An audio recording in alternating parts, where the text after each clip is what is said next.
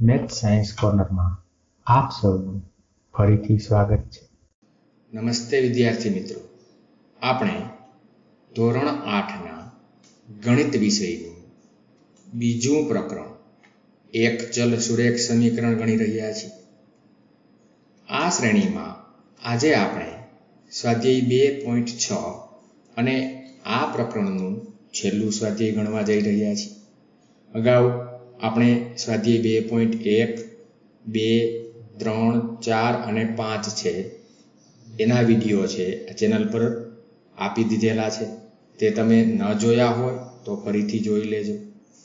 ચાલો, સ્વાધ્યાય બે પોઈન્ટ છ છે. એ શરૂ કરીએ.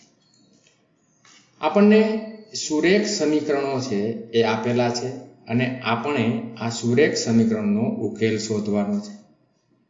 પ્રથમ દાખલો આપણને અહીં એવો આપેલો છે કે આઠ એક્સ ઓછા ત્રણના છેદમાં ત્રણ એક્સ બરાબર બે. હવે આ રીતનું સમીકરણ ઉકેલવા માટે શું કરીશું આપણે? તો કે આ રીતના સમીકરણ ઉકેલવા માટે આપણે ચોકડી ગુણાકારના રીતની ઉપયોગ કરીશું. હવે ચોકડી ગુણાકાર શું છે? એ જરા બરાબર પાછું ફરીથી સમજીએ. અગાઉ પણ આપણે સમજેલા છે કે એના છેદમાં બી આ એક અપૂર્ણાંક છે. એના બરાબર સી ના છેદમાં ડી હોય. અહીં એના છેદમાં બી અને સી ના છેદમાં ડી છે. આ જુદા જુદા બે અપૂર્ણાંક છે. તો આનું સાદુરૂપ આપવા માટે શું કરવાનું છે?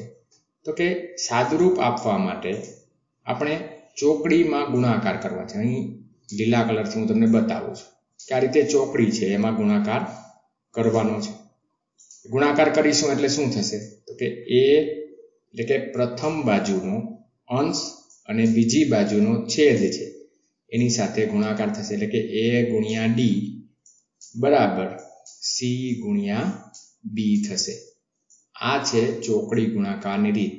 આ જ વસ્તુ છે આપણે અત્યાર સુધી ભણતા આવ્યા છે કે બરાબરની બાજુ બદલે જ્યારે, ત્યારે જો કોઈ પણ પદ છે એ ભાગાકારમાં હોય તો ગુણાકારમાં થશે અને ગુણાકાર હોય તો ભાગાકાર. અહીં આ પ્રકરણમાં આપણે આ જે ચોકડી ગુણાકાર છે, આ રીતનો આપણે ઉપયોગ કરીશું. ચાલો, ઉપયોગ કરીએ. જેમ જેમ ઉપયોગ શીખતા જશો તમે, એટલે તમને આસાનીથી આવડી જ જવાનું છે.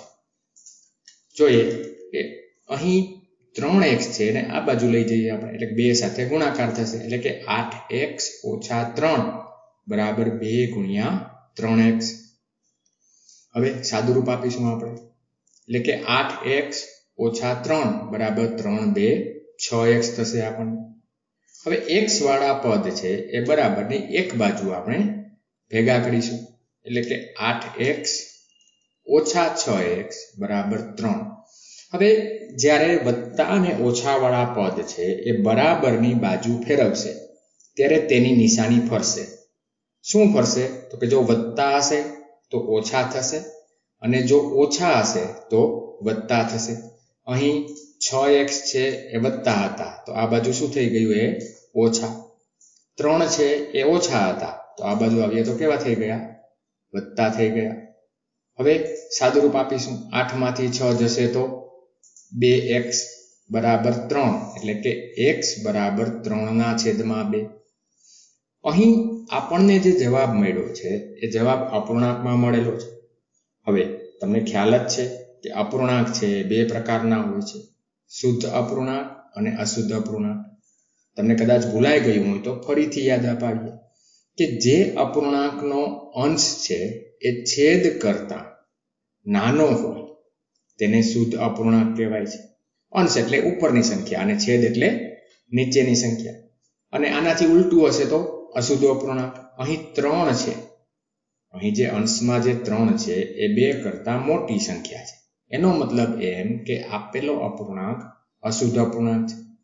હવે જ્યારે પણ અશુદ્ધ અપૂર્ણાંક જવાબ તરીકે મળે આપણને, ત્યારે તેને મિશ્ર અપૂર્ણાંકમાં ફેરવવું પડે. હવે મિશ્ર અપૂર્ણાંકમાં કઈ રીતે ફેરવીશું? તો તેના માટે ભાગાકાર કરવાનો છે. શરૂઆતના થોડા દાખલામાં ભાગાકાર છે એ આપણે આ રીતે ભાગાકારની રીતથી કરીશું. ત્યારબાદ આ જે ભાગાકારો છે, એ મૌખિક ગણતરીથી જ કરીશું. બે એક, બે અને ત્રણમાંથી બે જશે તો વધશે એક. હવે આ જે ભાગાકાર કરેલો છે, પરંતુ અહીં તો ક્યાંય પણ મિશ્ર અપૂર્ણાંક આપણને જોવા મળતો નથી. તો લખીશું કેમ? તો લખવા માટે એકદમ સાદી, સિમ્પલ ટ્રીક છે કે છેદ છે ક્યારેય કોઈ પણ અપૂર્ણાંકનો બદલતો નથી. એટલે બે તો છેદમાં જ આવશે. એટલે આ જે જેના વડે આપણે ભાગાકાર કરેલો છે, એ સંખ્યા આપણે એમને રાખી દઈશું. હવે આ વસ્તુઓ વધી છે. અહીં જે ભાગફળ છે, એ હંમેશા બાજુમાં આવશે. એટલે કે આપણે શું લખીશું? એક. અને શેષ છે, એ અપૂર્ણાંકમાં અંશમાં આવશે. એટલે કે એક પૂર્ણાંક એક છે. તો એનો એ જ રહેવાનો છે. એટલે એક પૂર્ણાંક એક દ્વિતીયાંશ જવાબ મળશે આપણે ત્રણ દ્વિતીયાંશનો જવાબ શું મળશે આપણને? એક પૂર્ણાંક, એક દ્વિતીયાંશ મળ્યો આપણને જવાબ. સમજાયું? હવે આ રીતનો ભાગાકાર છે, આપણે એક પણ દાખલામાં કરીશું નહીં. પરંતુ તે જે છે, એ આપણે મૌખિક ભાગાકારની મદદથી કરીશું. ચાલો, પછીનું બીજું સમીકરણ જોઈએ આપણે. નવ એક્સ છેદમાં સાત ઓછા છ એક્સ બરાબર પંદર આપણને આપેલું છે. એટલે અહીં શું કરીશું? કે અહીં જે છેદ છે, સાત ઓછા છ એક્સ, એને પંદર સાથે ગુણાકારમાં લઈ જશું. એટલે આપણનું પેલું સ્ટેપ શું થશે? નવ એક્સ બરાબર પંદરના કૌંસમાં સાત ઓછા છ એક્સ. એક કરતા વધારે પદ હોય તો એ પદને હંમેશા આપણે કૌંસમાં મૂકવાના.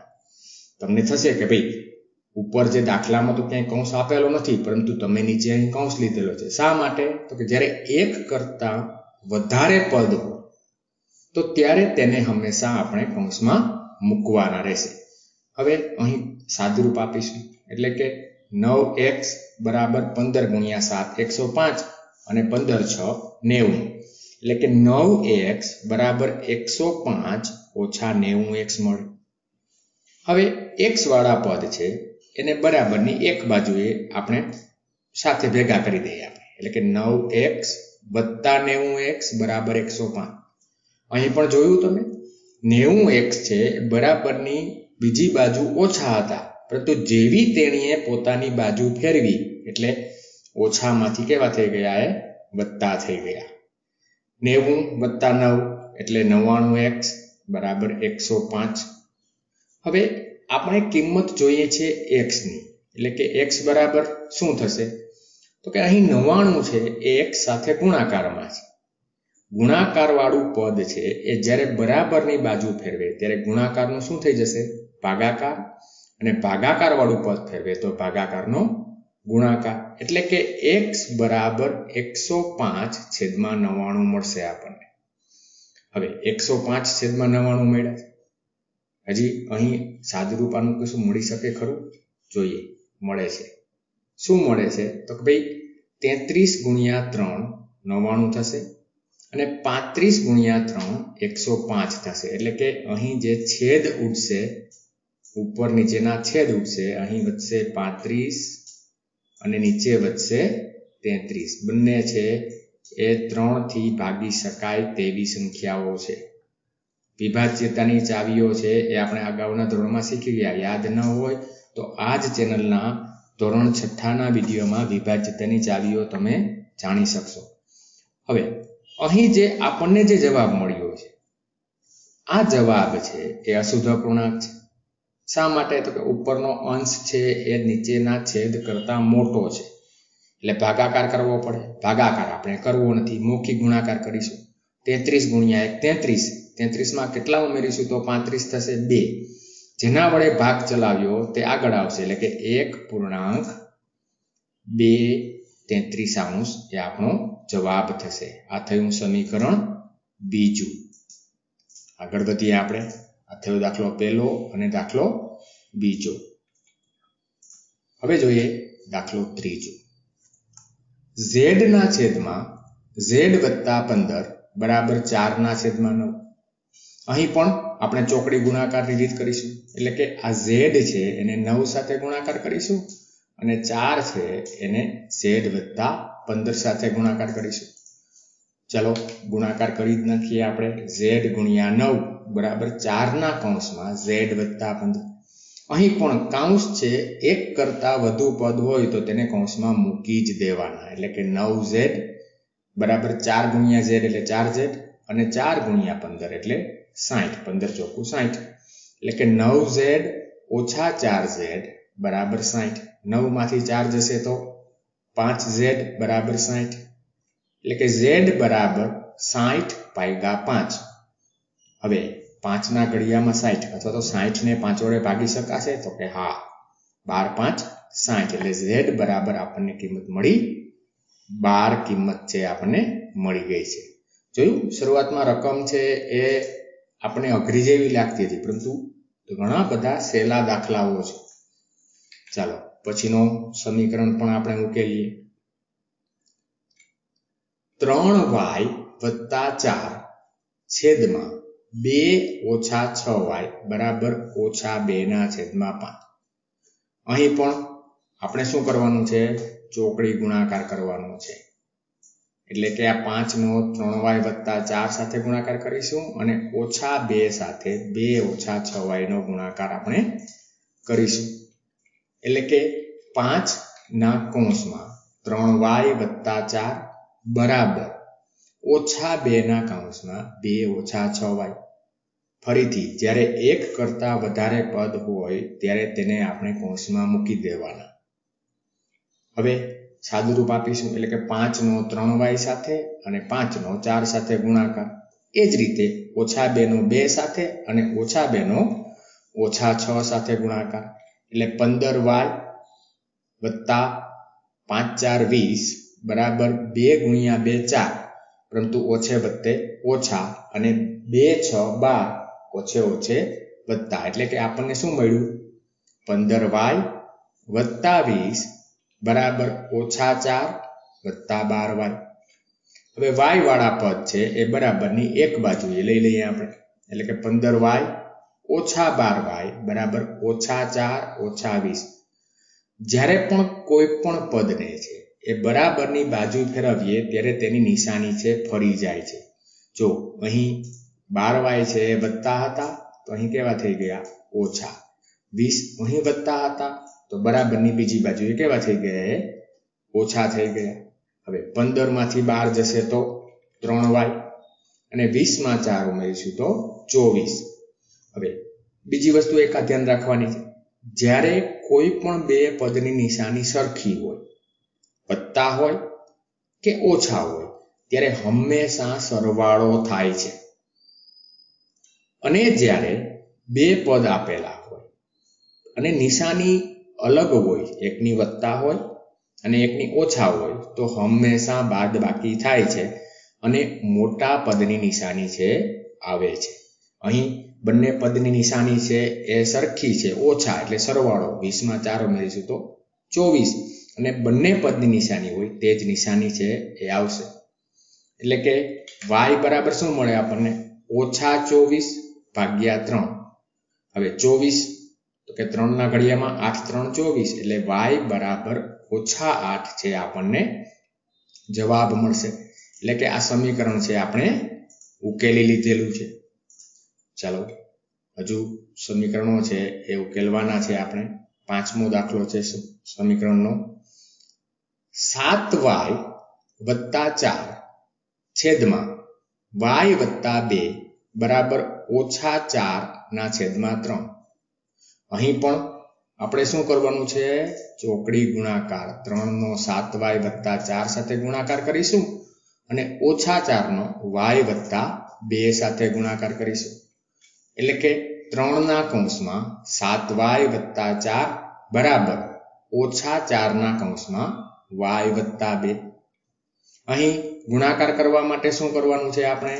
તો કે આ ત્રણનો પ્રથમ સાત વાય સાથે ગુણાકાર કરીશું, ત્યારબાદ ચાર સાથે ગુણાકાર કરીશું.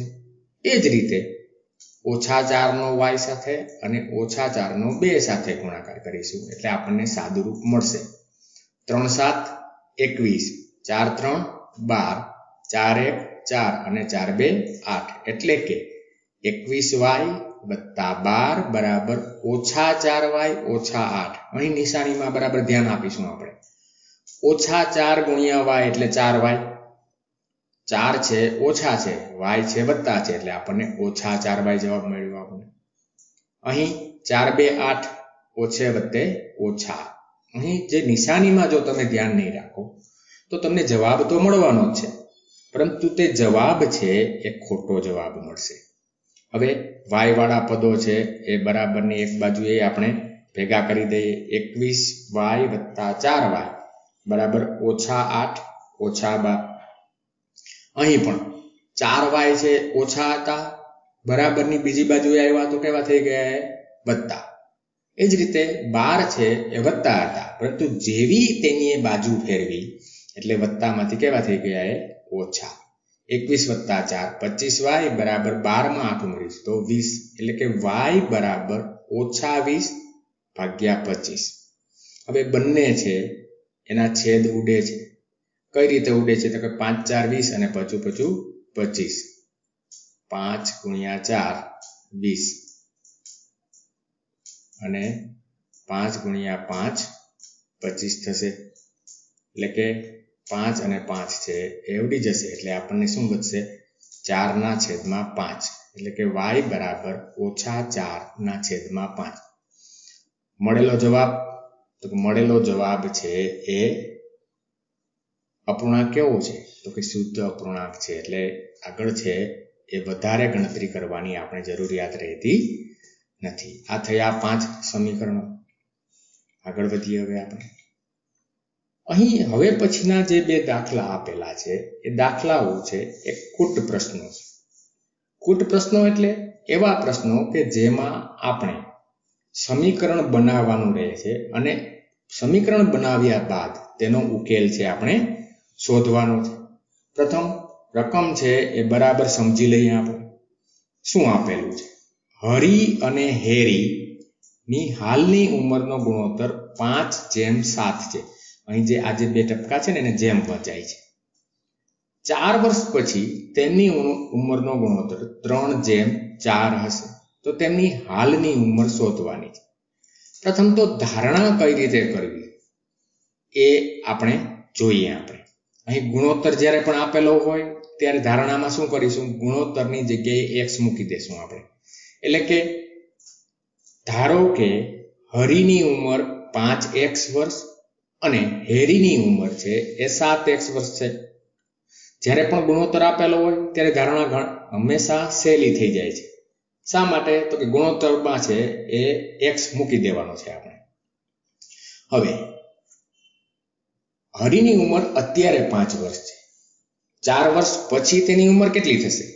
હવે જ્યારે પણ શબ્દ પછી આપેલો હોય, ત્યારે હંમેશા સરવાળો કરવાનો છે. આપણે સામાન્ય ઉદાહરણ લઈએ. અત્યારે ધારો કે તમારી ઉંમર છે એ બાર વર્ષ છે. તો ચાર વર્ષ પછી તમારી ઉંમર શું થશે? તો કે બારમાં ચાર ઉમેરશું તો સોળ વર્ષ થશે. એ જ રીતે જ્યારે પહેલા આપેલું હોય ત્યારે હંમેશા બાદ બાકી કરવાની છે. આપણે આ જ ઉદાહરણ લઈએ કે અત્યારે તમારી ઉંમર બાર વર્ષ છે. તો ચાર વર્ષ પહેલા તમારી ઉંમર કેટલી હોય? બારમાંથી ચાર જશે તો આઠ વર્ષ. એટલે કે પછી ગમે ત્યાં આવે, ત્યારે હંમેશા સરવાળો કરવાનો છે. તેથી ચાર વર્ષ પછી તેમની ઉંમર શું મળે? તો કે હરિની ઉંમર પાંચ એક્સ વત્તા ચાર વર્ષ મળે. અને હેરીની ઉંમર સાત એક્સ વત્તા ચાર વર્ષ ચાર વર્ષ મળે. હવે ચાર વર્ષ પછી તેમની ઉંમરનો ગુણોત્તર છે એ ત્રણ જેમ ચાર આપેલો છે. ગુણોત્તર છે એ હંમેશા શું હશે? તો કે તે અપૂર્ણાંક છે. ત્રણ જેમ ચાર એટલે ત્રણના છેદમાં ચાર આપણે લખી શકાય. એટલે કે અને જો ત્રણ જેમ ચારને છે, ત્રણના છેદમાં ચાર જો આપણે લખીએ, તો આજે પાંચ એક્સ વત્તા ચારના છેદમાં શું લખી શકીશું આપણે? સાત એક્સ વત્તા ચાર. એટલે કે આપણું સમીકરણ કેવું બનશે? પાંચ એક્સ વત્તા ચાર છેદમાં સાત એક્સ વત્તા ચાર બરાબર ત્રણના છેદમાં ચાર. અહીં પણ આપણે ચોકડી ગુણાકાર છે, એનો ઉપયોગ છે આપણે કરીએ. એટલે કે ચારના કૌંસમાં પાંચ એક્સ વત્તા ચાર બરાબર ત્રણના કૌંસમાં સાત એક્સ વત્તા ચાર. અહીં કૌંસ ખોલવાનો છે આપણે, એટલે કે ચારનો વારા ફરતી જેટલા પણ પદ છે તેની સાથે ગુણાકાર. પ્રથમ અહીં પાંચ એક્સ છે, અહીં ચાર છે. એ જ રીતે ત્રણનો સાત એક્સ અને ચાર સાથે છે એ ગુણાકાર કરવાનો છે. પાંચ ચાર વીસ એક્સ વત્તા ચોકે ચોકે સોળ, બરાબર સાત ત્રણ એકવીસ વત્તા ચાર ત્રણ બાર. એક્સ વાળા પદ એક બાજુ, એટલે વીસ એક્સ ઓછા એકવીસ એક્સ બરાબર બાર ઓછા સો. જ્યારે પણ બરાબરની બીજી બાજુ કોઈ પણ પદ લઈ જઈએ, ત્યારે તેની નિશાની છે, ફરી જાય છે, આ વસ્તુ મગજમાં બરાબર યાદ રાખવાની છે. હવે, વીસ એક્સ ઓછા એકવીસ એક્સ એટલે? ઓછા એક્સ અને બારમાંથી સોળ જશે. બારમાંથી સોળ નહીં જાય, પરંતુ સોળમાંથી બાર જશે. તો ચાર એટલે કે એક્સ બરાબર ચાર. અહીં બંને બાજુ ઓછા નિશાની છે, એટલે આપણે તેને કેન્સલ કરી શકીશું, ઉડાડી શકીશું. એટલે કે એક્સની કિંમત આપણને મળી કેટલી? ચાર મળી. હવે, આપણે તો હરીની ને હેરીની ઉંમર શોધવાની છે. હરીની ઉંમર શું ધારી હતી આપણે? પાંચ એક્સ, એટલે કે પાંચ ગુણ્યા ચાર બરાબર વીસ વર્ષ. અને હેરીની ઉંમર સાત ગુણ્યા ચાર બરાબર અઠ્યાવીસ વર્ષ. એટલે કે હાલમાં હરીની ઉંમર છે એ વીસ વર્ષ હશે અને હેરીની ઉંમર છે એ અઠ્યાવીસ વર્ષ હશે.